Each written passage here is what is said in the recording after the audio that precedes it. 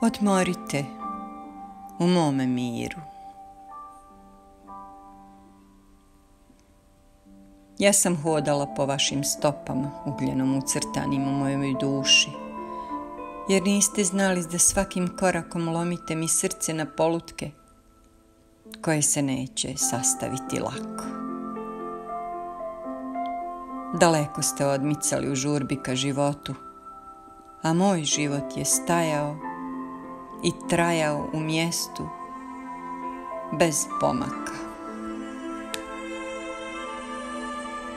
Kormilo mi je nestajalo iz umornih ruku kojima sam mahala i krilatala zovući vas, ali niste čuli.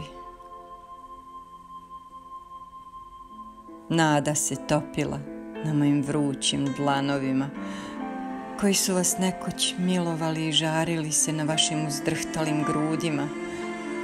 Moj dragi, neprebolu.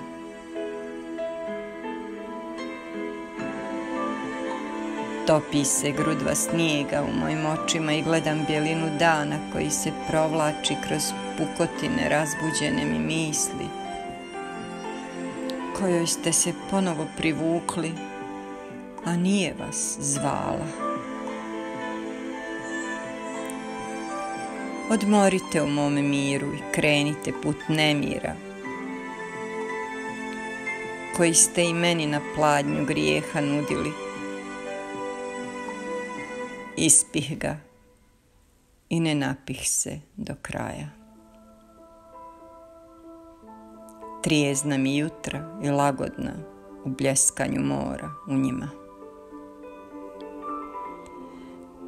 Ja vama lijeka dati ne mogu.